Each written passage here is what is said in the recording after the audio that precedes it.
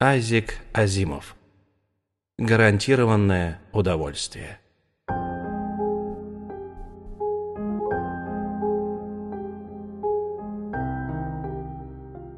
Тони был высокий красавец с лицом римского патриция. Клэр Белмон наблюдала за ним через приоткрытую дверь со смешанным чувством страха и отчаяния.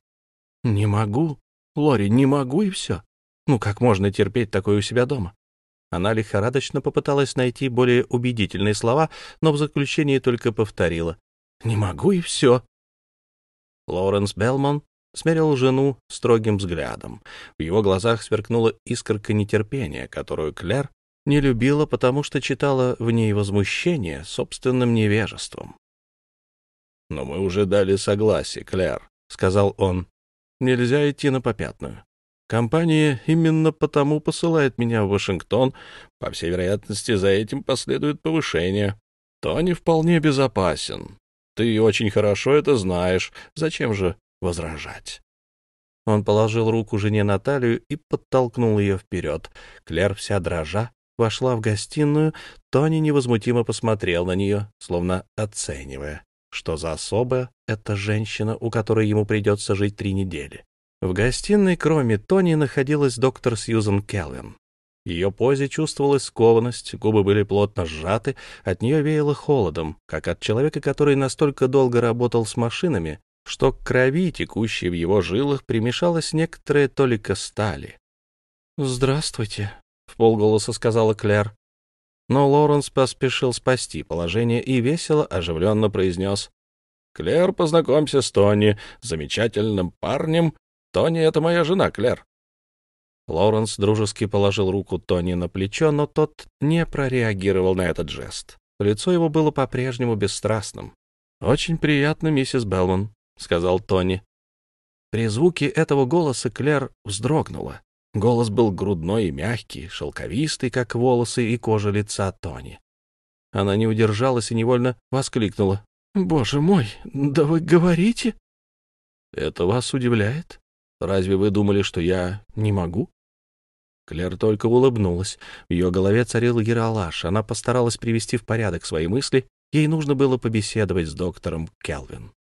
«Миссис Белман, надеюсь, вы понимаете огромное значение этого эксперимента. Ваш супруг сказал мне, что некоторые вещи он вам объяснил. Я, как главный робопсихолог фирмы US Robots, хотела бы добавить еще кое-что. Тони — робот. В спецификации компании он значится как ТН-3, однако отзывается на имя Тони. Не думайте, что Тони какое-нибудь механизированное чудовище или простая вычислительная машина из числа тех, которые производились нами 50 лет тому назад во время Второй мировой войны. Он снабжен искусственным мозгом, который сложен почти в такой же мере, как и человеческий. Это вроде нечто гигантской телефонной установки, умещающейся в черепной коробке. С помощью этой телефонной установки можно установить миллиарды телефонных связей. Каждая модель снабжена своим специально для нее созданным мозгом. Каждый мозг запрограммирован таким образом, что владеет языком в той мере, в какой это ему необходимо для начала, и обладает достаточными познаниями в нужной ему области, чтобы выполнять свои обязанности. До недавнего времени наша фирма ограничивалась выпуском моделей для промышленности, для тех областей, где использование человеческого труда является нерациональным, как, скажем, в шахтах или на подводных работах. Но сейчас мы собираемся приступить к производству роботов для использования в домашнем хозяйстве. И нам нужно добиться того, чтобы люди привыкли к роботам, не боялись их. Теперь вы понимаете, что вам нечего опасаться. — В самом деле, Клэр, нечего, — вмешался Лоренс. — Честное слово, он не может причинить тебе вред. Не то я бы не согласился оставить тебя с ним. Клэр украдкой взглянула на Тони и, понизив голос, спросила. А если я его чем-нибудь рассержу? Говорить шепотом ни к чему, — спокойно ответила доктор Келвин. Он не может на вас рассердиться, дорогая. Все мозговые связи его предварительно запрограммированы. Важнейшей из них является связь, которую мы называем первым законом науки о роботах. Он гласит, робот не может причинить вред человеку или своим бездействием допустить, чтобы человеку был причинен вред. Все роботы конструируются по этому принципу. — А что он умеет делать? — тихо спросила Клэр. — Любую домашнюю работу, — односложно ответила доктор Келвин. Она поднялась и откланялась. Лоуренс вышел ее проводить в прихожую. Клэр мельком взглянула на свое отражение в зеркале, висящем над камином, и быстро отвела взгляд. Это маленькое мышиное личико и уродливая прическа были ей невыносимо противны. Тут она заметила, что Тони смотрит на нее и уже почти была готова ему улыбнуться, как вдруг вспомнила, что он всего лишь машина. По дороге в аэропорт Лоуренс Бельман встретил на улице Гладис Клафферн. Она относилась к тому типу женщин, которые созданы словно для того, чтобы на них заглядывались. Безупречное творение, одетая неизменно безукоризненно и со вкусом. Она излучала такое сияние, что при взгляде на нее невольно приходилось щуриться. Улыбка, которой она ослепляла встречных, нежный запах духов, который оставляла после себя, притягивали, манили. Лоренс почувствовал, что невольно ускоряет шаги. Он вежливо приподнял шляпу и прошел мимо. При виде Гладис его охватило знакомое раздражение против Кляр. Как было бы здорово, если бы она смогла ввести его в тот круг, в котором вращалась Гладис Клафферн. Впрочем, что толку? Ох уж это Клэр. Каждый раз, когда ей приходилось встречаться с Гладис, она немела. Нет, он не питал никаких иллюзий. Опыт с был его единственным шансом, но все зависело от Клэр. Насколько бы все было надежнее, если бы хозяйкой положения была такая женщина, как Гладис Клафферн. На следующее утро Кляр проснулась от легкого стука в дверь спальни. В первое мгновение она вздрогнула, потом оцепенела. Весь первый день она избегала Тони, при встречах только улыбалась и не говорила ни слова, проходила мимо. «Это вы, Тони?» «Да, миссис Белман. Можно войти?» Вероятно, она ответила утвердительно, потому что через секунду Тони очутился в комнате. Он вошел совершенно бесшумно. Клэр бросился в глаза поднос, который он нес в руках, ноздри ее затрепетали от аппетитного запаха. «Завтрак?» — спросила она. «Прошу». Клэр не решилась отказаться, села в постели и взяла поднос. Пара яиц, гренки с маслом и чашка кофе. «Я побоялся влить в кофе сливки, сахар тоже придется положить самой», — сказал Тони. «Надеюсь, что со временем я изучу ваш вкус, как относительно кофе, так и насчет других вещей». Она ждала, когда он уйдет. Тони, гибкий как металлическая рулетка, спросил. Вы предпочитаете завтракать в одиночестве? Да, если вы не имеете ничего против. Помочь вам одеться? Нет, нет. Клэр натянула на себя простынь так порывисто, что чуть не пролила кофе. Сидела, сжавшись комок, а когда он вышел, без сил откинулась на подушку. Одевшись, она направилась в кухню. В конце концов, это ее дом. Хотя Клэр не отличалась мелочностью, она любила, чтобы в кухне царила чистота и порядок. Он должен был дождаться ее осмотра. Но, войдя в кухню, Клэр увидела, что там все блестит, сверкает, будто только что доставлено из магазина. Она остановилась, обвела помещение изумленными глазами, повернулась на каблуках и чуть не столкнулась с Тони. От неожиданности она вскрикнула. «Вам помочь?» — спросил он. «Тони», — сказала она, стараясь подавить гнев, вызванный испугом вы не должны передвигаться так бесшумно, я пугаюсь. Вы здесь готовили завтрак? Здесь, миссис Белман. Незаметно. Я потом убрал. Разве это неправильно? Клэр стояла, широко раскрыв глаза, и не знала, что ответить.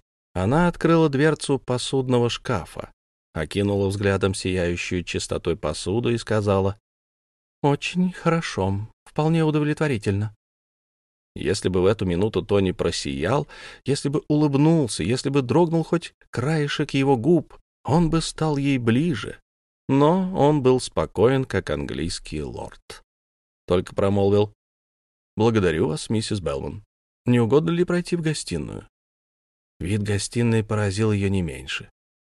«Вы что, полировали мебель?» «Довольны ли вы качеством работы, миссис Белман?» «Но когда же вам удалось?» Вчера вы ничего здесь не делали. Ночью, конечно. И вы всю ночь жгли свет? О, нет, я в этом не нуждаюсь. Во мне вмонтирован ультрафиолетовый источник света, а сон, естественно, мне ни к чему. Да, он заслуживал восхищения, Клер хорошо понимала это. Нужно было дать ему понять, что она довольна им. Но ей не хотелось доставлять ему это удовольствие, и она с кисловатой миной сказала, «Из-за таких, как вы, домработницы лишатся своих мест». Освободившись от такого непроизводительного труда, они смогут заняться гораздо более полезным делом. В конце концов, миссис Белман, машины вроде меня можно производить, но что может сравниться с творческим началом, которое заложено в таком многосторонне развитом мозге, как у вас? И хотя выражение его лица оставалось прежним, в его голосе звучали нотки теплоты и восхищения, которые заставили Клэр покраснеть. Она сказала, «Такой мозг, как у меня? Охотно дарю его вам». «Наверное, вы не очень счастливы, если так говорите», — заметил он и подошел поближе. «Могу ли я чем-нибудь вам помочь?» Ей вдруг стало смешно. Положение было и впрямь смехотворным. Машина, которая чистит ковры, чистит посуду, полирует мебель и делает еще бог знает сколько дел, машина, недавно сошедшая с конвейера завода, предлагает ей свои услуги в качестве утешителя и душеприказчика. «Если вы хотите знать, мистер Белман придерживается другого мнения. Он считает, что у меня вообще нет мозга», — неожиданно выпалила она. «И, по всей вероятности, он прав». Клер не могла себе позволить расплакаться перед ним. «Такое наблюдается в последнее время», — добавила она. «Пока он был студентом, все шло отлично. Но теперь... Теперь я недостойна быть женой великого человека, а он вот-вот станет великим и требует, чтобы я была великолепной хозяйкой, светской дамой, которая смогла бы ввести его в общество, в общество этой самой Гладис Клаферн. Кончик носа у Клэр покраснел, и она отвернулась. Но Тони не смотрел на нее, его взгляд блуждал по комнате. «Я могу помочь вам привести в порядок квартиру». «Но она так ужасна!» — раздраженно воскликнула Клэр. Необходима масса преобразований, которые я не в состоянии сделать. Квартира — это удобно, спору нет, но я не могу обставить ее, чтобы она приобрела такой вид, как в журналах. Вы хотите, чтобы она приобрела такой вид? Что толку хотеть? Одного желания мало. Тони взглянул ей прямо в глаза. Я могу вам помочь. Вы разбираетесь в вопросах внутренней архитектуры? Разве это обязательно? Еще бы! В таком случае у меня есть нужные потенциалы, и я могу приобрести знания, которые от меня потребуются. Могли бы вы снабдить меня книгами по этим вопросам? Придерживая одной рукой шляпу, которую ветер то и дело норовил сорвать с головы, Клер тащила из городской библиотеки два увесистых тома. Тони сразу же открыл один из них и начал перелистывать. Она впервые наблюдала, как его пальцы справляются с такой деликатной работой. «Вы не умеете читать?» — спросила Клэр с чувством превосходства. «Я именно этим и занят, миссис Белман». «Ну, вы так...» — сказала она, сделав неопределенный жест рукой. «Вы имеете в виду, что я быстро перелистываю страницы. Я их усваиваю. У меня фотографический способ чтения». Дело было вечером, и когда Клэр ушла спать, Тони уже дошел до середины тома, несмотря на то, что читал он при слабом освещении, по крайней мере, для глаз Клэр течение нескольких дней она тем и занималась, что ходила в библиотеку и приносила оттуда все новые книги. Тони говорил, какая литература ему необходима. Ему требовались книги по вопросам сочетания цветов, косметики, столярного дела и моды, по искусству и истории одежды. К концу недели он уговорил Клэр подстричь волосы, придумал ей новую прическу, изменил линию бровей и посоветовал пользоваться помадой и пудрой другого оттенка. С полчаса она терпеливо сидела перед ним, нервно вздрагивая при каждом осторожном прикосновении его человеческих пальцев, а когда все было кончено, посмотрела на себя в зеркало. «Можно еще кое-что сделать», — сказал Тони, особенно в отношении одежды. «Как вы находите начало?» Клер ответила не сразу. Ее прямо ошеломила незнакомая женщина, глядевшая на нее из зеркала. Когда изумление, охватившее ее при виде этого красивого существа, прошло, она, не сводя глаз со своего красивого изображения в зеркале, глухим прерывистым голосом сказала. «Да, Тони, очень даже неплохо для начала». Лоренсу она не написала об этом ни слова. Пусть удивится, когда приедет. Клэр не только тешила мысль, как он будет поражен, ею руководило и чувство мести. В одно прекрасное утро Тони сказал, Пора заняться покупками, только мне нельзя выходить из дома. Думаю, что если я составлю список вещей, которые нужно приобрести, вы отлично справитесь с этим. Надо купить шторы, обивочную ткань, обои, палас, краску, кое-что из одежды и различные другие мелочи. Это не так просто. В голосе Клэр прозвучало сомнение. Я уверен, что вы прекрасно справитесь. Стоит вам только пройтись по магазинам, когда нет проблемы с деньгами, в том-то и дело, Тони, что с деньгами проблема. Ничего подобного. Вам только нужно сначала зайти в контору фирмы US Robots. Я напишу записку. Найдите доктора Келвин и объясните ей, что это входит в эксперимент. На сей раз доктор Келвин не показалась такой неприступной, как во время предыдущей встречи. Да и саму Клэр с этим новым лицом в новой шляпе, казалось, подменили. Доктор Келвин внимательно ее выслушала, задала несколько вопросов, кивнула в знак согласия головой, и через минуту Клэр очутилась на улице с чеком на неограниченную сумму долларов в кармане. Чего только не делают деньги. Голоса продавщиц больше не звучали для Клэр высокомерно, и поднятая бровь обойщика ничуть не смущала ее. А когда смешной толстяк в одном из самых изысканных салонов готовой одежды никак не мог взять в толк, что ей нужно, и только смешно отдувался и бормотал извинения на том чистейшем французском языке, на котором изъясняются жители 75-й авеню, Кляр позвонила домой и, услышав голос Тони, передала трубку «Мсье». «Прошу вас», — сказала Кляр уверенным голосом, хотя потому, как она нервно перебирала пальцы, было видно, что ей немного не по себе. «Говорите с моим... с секретарем».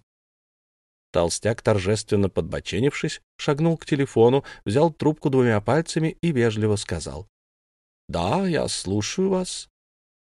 Других слов за время разговора он не произнес.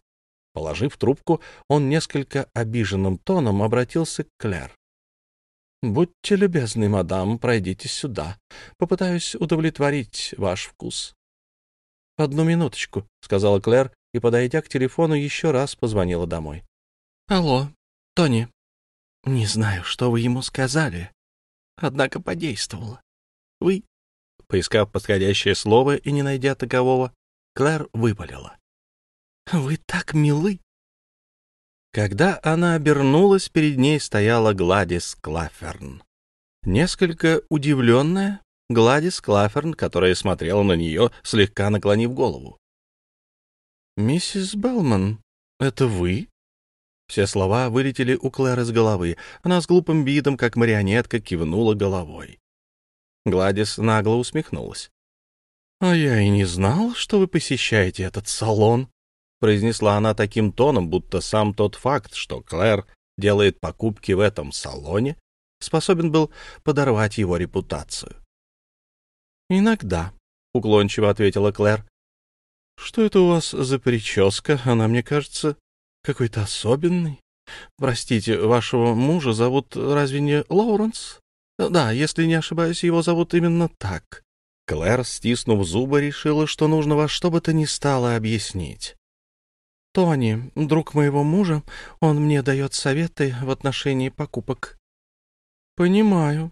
Вероятно, он очень мил. И Гладис Клаферн поплыла дальше с улыбкой, которая, казалось, вобрала в себя свет и тепло всей вселенной.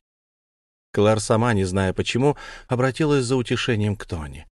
За десять дней, которые они провели под одной крышей, от предубеждения к нему не осталось и следа. Она могла даже поплакать в его присутствии, поплакать и дать волю своему гневу.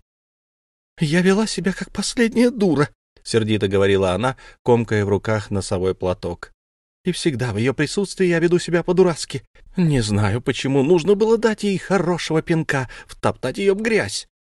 «Как можно так ненавидеть себе подобное существо?» — спросил Тони с известной долей удивления. «Эта сторона человеческого поведения мне совершенно непонятна». «О, нет, она ни в чем не виновата!» — воскликнула Клэр, всхлипнув. «Причина, видимо, во мне. В ней есть все то, чего нет у меня и чего мне хотелось бы добиться. По крайней мере, что касается внешности, но мне это не под силу». «Под силу, миссис Белман», — сказал Тони с подчеркнутой убежденностью. «В нашем распоряжении есть еще десять дней, а через десять дней вы не узнаете своего дома». «Ну, какое отношение это имеет к Гладис Клэфорн?» «Вы пригласите ее в гости, вместе с приятельницами. Сделаем это вечером, вечером накануне моего ухода, по случаю обновления дома». «Она не примет приглашение?» О, не сомневайтесь, примет. Она придет хотя бы только для того, чтобы не упустить случая посмеяться над вами. Только ничего не выйдет. — Вы так думаете? — Тони, неужели это нам удастся? — воскликнула Клэр, схватив его за руки. И вдруг лицо ее померкло. — Что толку? Ведь это ваша заслуга, а не моя. Я создан, чтобы подчиняться, но границы этого подчинения определяю я сам. Я могу выполнять приказания щедро и могу быть скупым. Ваши выполняю щедро, потому что вы добры, благородны, скромны. Миссис Клаффорн, насколько я могу судить по вашим словам, не такая. Ее поручение я бы выполнял иначе, чем ваше. Как видите, все в конечном счете зависит от вас, миссис Белман. Он высвободил свои руки, а она стояла, не сводя глаз с его лица, которое продолжало оставаться непроницаемым. Ей вдруг стало страшно, но этот страх не имел ничего общего с тем прежним. Она судорожно сглотнула и взглянула на руки, которые все еще чувствовали на себе прикосновение его пальцев. Нет, это не было игрой воображения. Перед тем, как высвободить свои руки, он легко, с нежностью сжал ее пальцы. Клэр бросилась в ванну и стала мыть руки, хотя прекрасно понимала, что это ни к чему. На другой день она чувствовала себя не в своей тарелке. Осторожно наблюдая за ним, ждала что-нибудь. Но ничего особенного не произошло, по крайней мере, в тот день. Тони работал, не покладая рук. Дело спорилось. Все, за что бы он ни взялся, выходило у него ловко и мастерски. Он работал ночи напролет. Клэр ничего не слышала, но каждое утро было для нее праздником. С первого раза она даже не успевала отметить все, что им было сделано за ночь, и к вечеру всегда обнаруживала что-нибудь новое. Только раз она попыталась ему помочь, но из-за своей человеческой неуклюжести чуть не испортила все дело. Тони находился в соседней комнате, когда она решила повесить картину на место, обозначенное его рукой. Клэр не сиделась без дела. То ли она была неспокойна, то ли лесенка была неустойчивая. Какое это имеет значение? Важно одно Клэр почувствовала, что падает, и вскрикнула. Лестница упала, а Клэр очутилась в руках у Тони, который с несвойственным людям проворством вбежал в комнату и подхватил ее на лету. Его темные глаза смотрели безмятежно, спокойно. Он произнес своим мягким голосом. «Вы не ушиблись, миссис Беллон?» «Только и всего». Во время падения Клэр, видимо, коснулась рукой его головы и впервые совершенно отчетливо почувствовала, что его волосы состоят из отдельных волокон, тонких волосинок черного цвета. До нее только теперь дошло, что Тони держит ее на руках, словно ребенка. Она вырвалась, чуть не оглохнув от собственного крика. Остаток дня Клэр провела у себя в комнате, а на ночь забаррикадировала дверь своей спальни креслом. Приглашения были разосланы и, как предсказывал Тони, приняты не оставалось ничего другого, как дожидаться последнего вечера. И вот, наконец, он настал. Дом невозможно было узнать. Клэр в последний раз обошла все комнаты, каждая выглядела по-новому. Сама же Клэр одета так, как раньше, ни за что бы не решилась. Это придавало ей самоуверенности и чувство собственного достоинства. Интересно, что скажет Лори. Впрочем, не все ли равно? Ее волнение было связано не с его приездом, а с тем, что завтра придется расставаться с Тони. Странно. Часы пробили восемь. Клэр сказала. Они каждую минуту могут прийти. Тони, не лучше ли вам спуститься в подвал? Не стоит...» Она широко открыла глаза и тихо промолвила. «Тони!» Потом повторила его имя громче и в третий раз закричала во весь голос. «Тони!» Но руки его уже обвились вокруг ее плеч, лицо находилось совсем рядом. Она пыталась вырваться из его объятий, но это было невозможно. Сквозь окутавшую Клэр пелену противоречивых чувств она услышала его голос, который говорил «Клэр, есть вещи, которые я не в силах понять. Завтра я должен покинуть ваш дом, а мне не хочется этого делать. Я понял, что во мне живет нечто большее, чем желание быть вам полезным. Разве это не удивительно?» Он вплотную приблизил свое лицо к ее лицу. Губы у него были теплые, но дыхание не ощущалось, поскольку машины не дышат. Эти теплые губы прикоснулись к губам Клэр. В эту секунду раздался звонок. Она вырвалась из кольца его рук, а он исчез, будто сквозь землю провалился. Снова прозвенел звонок, настойчивый, пронзительный. Тут только Клэр бросилась в глаза, что шторы на окнах не опущены, а ведь минут пятнадцать назад она их опустила сама. Клэр отлично помнила это. Наверное, их видели. Их видели все. Гости явились все сразу, целой оравой, и глаза бегали по комнате, обшаривая каждый угол. Конечно же, они все видели. В противном случае Гладис бы не спросила таким тоном, где Лоуренс. Клэр решила принять вызов. Его нет в городе. Думаю, что он вернется завтра. Нет, она нисколько не скучала, ни капельки. Очень приятно проводила время, пока его не было. Клэр засмеялась. А почему бы ей не смеяться? Что они могут сделать, если слух о том, что они видели, достигнет ушей Лоуренса? Он не поверит, так как знает, что это невозможно. Им же было не до смеха. По глазам Гладис Клаферн было видно, что она в бешенстве. Это чувствовалось и по повышенному тону, которым она говорила, и потому, как она торопилась уйти. Провожая их, Клэр слышала, как одна из женщин шепнула своей соседке. «В жизни не видела мужчины красивее». Клэр знала, что их задело больше всего. Пусть теперь мяукают кошки несчастные, и пусть знают, каждая из них может быть красивее Клэр Белман, выше ее по положению, богаче но ни одна из них никогда не будет иметь такого красивого любовника. Она вновь вспомнила в который раз, что Тони всего лишь машина, и по спине у нее забегали мурашки. «Убирайся вон! Оставь меня в покое!» — крикнула она, хотя в комнате кроме нее никого не было, и бросилась на кровать. Клэр проплакала всю ночь, а рано утром на рассвете, когда улицы были еще пустынны, Перед домом остановилась машина и увезла Тони. Лоуренс Белман проходил мимо кабинета доктора Келвин и решил заглянуть к ней. У нее сидел математик Питер Богарт, но это не имело значения. «Клэр сказала мне, что фирма оплатила все счета по ремонту дома», — начал разговор Лоуренс. «Да», — сказала доктор Келвин, — «это входило в наш эксперимент. Надеюсь, что, получив новую должность заместителя главного инженера, вы сможете поддерживать дом в таком отличном состоянии. Меня беспокоит не это. Я зашел к вам по другому поводу. В Вашингтоне дали согласие на проведение опытов, но это дает мне основание думать, что уже к концу этого года мы сможем приступить к выпуску модели ТН. Он быстро направился к двери, но, передумав, вернулся. «В чем дело?» — спросила его доктор Келвин. «Не могу взять в толк», — сказал Лоренс.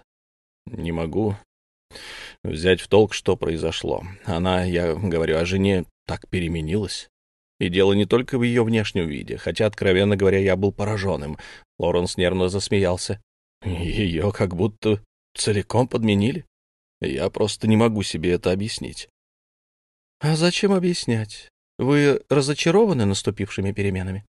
Напротив, но все-таки становится немного не по себе, когда...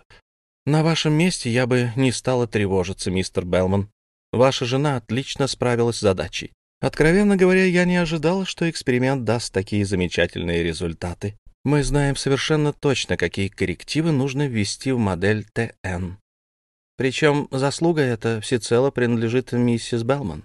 И еще я должна сказать вам честно, Она заслуживает полученного вами повышения гораздо больше вас. При этих словах Лоренс вздрогнул. «Все равно один из членов семьи», — пробормотал он и вышел. Сьюзен Келвин проводила его взглядом. «Питер, вы прочли доклад Тони?» «Да, притом очень внимательно», — ответил Богерт. «Не считаете ли вы, что нужно внести в модель ТН некоторые изменения?» «Неужели и вы так думаете?» — резко спросила доктор Келвин. «Каковы ваши соображения на этот счет?» Богерт нахмурился. «Да никаких. Все и так ясно. Разве можно допустить, чтобы робот крутил любовь с хозяйкой?» «Любовь? Питер, вы меня убиваете. Неужели вам не ясно? Ведь эта машина подчиняется первому закону. Тони не мог допустить, чтобы человеку был причинен какой-то вред. А разве может быть вред хуже, чем чувство малоценности, терзавшее Клэр Белман? Вот почему он так поступил. Какая бы женщина не сочла за самый большой комплимент для себя способность пробудить чувство любви в машине, холодной, бездушной машине. Он нарочно поднял шторы, чтобы те дамы могли увидеть, как он ее обнимает. Он знал, что браку Клэр ничто не угрожает. По-моему, Тони поступил очень умно. «Вы так думаете? Какая разница, было это сделано нарочно или нет? Как бы то ни было, результат ужасен. Прочти еще раз доклад. Она его избегала. Вскрикнула, когда он подхватил ее на руки. С ней чуть не сделалась истерика. Она всю ночь не спала. Нет, это нельзя так оставлять. «Питер, вы просто слепы. Слепы, как была слепа и я. Мы изменим модель ТН в корне, только учтем не ваши соображения, а совсем другое. Удивительно, как это не пришло мне в голову с самого начала. Поймите, Питер, машины не могут влюбляться, но женщины могут, даже когда это безнадежно и кажется ужасным.